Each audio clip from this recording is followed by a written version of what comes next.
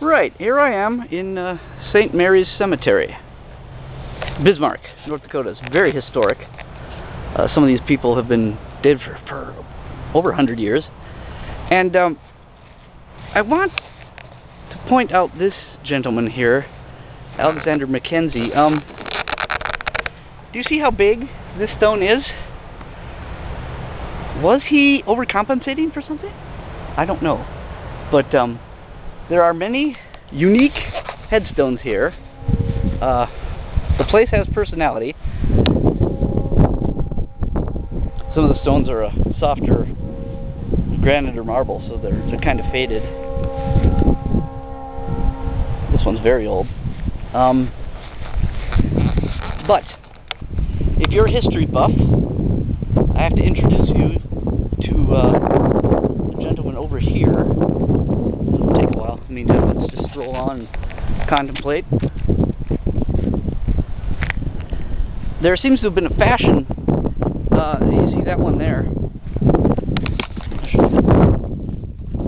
to sort of half hew the stone, you know, one half is carved and polished and the other half is rough hewn. It, uh, there are quite a lot of big stones done in this style. I kind of like it. It's got personality and you'll see prime example over here. Right.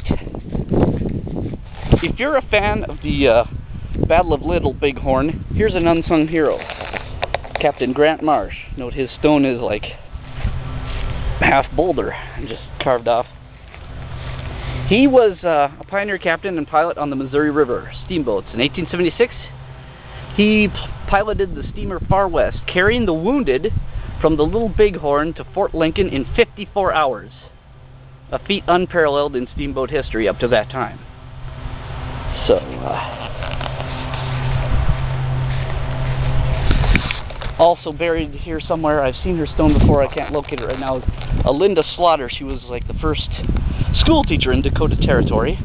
She was a friend of Mrs. Custer and uh, did a few other things.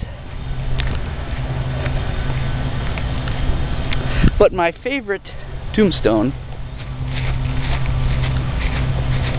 is over here.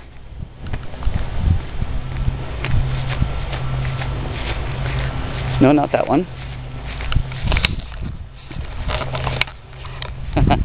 Those of you who uh, peruse my Deviant Art Gallery have seen this before.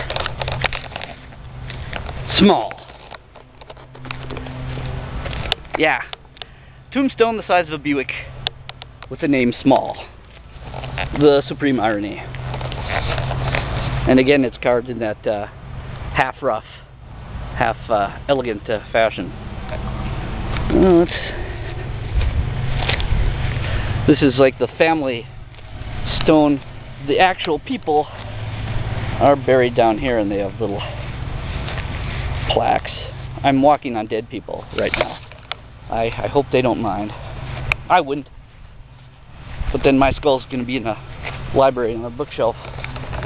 This is a nice one. Particularly nice one from the Hughes family. Ah, there are some there's some odd names here.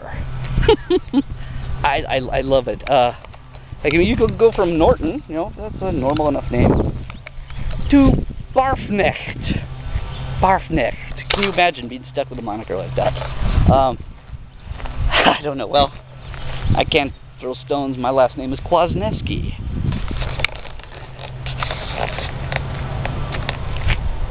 Gabriel. And those are the gates. Oh, oh no. No, it can't be. All you doll fans, I'm afraid, yes, yep, Barbie's gone. Hey, now that one is quite remarkable. I take a picture of this one. That's cool.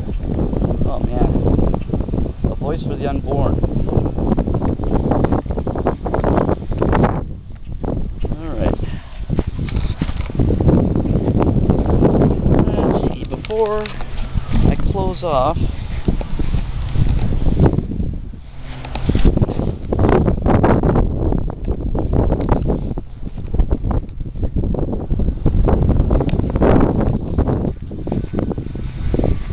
Yeah, here lies Barnabas Collins. Dun dun dun.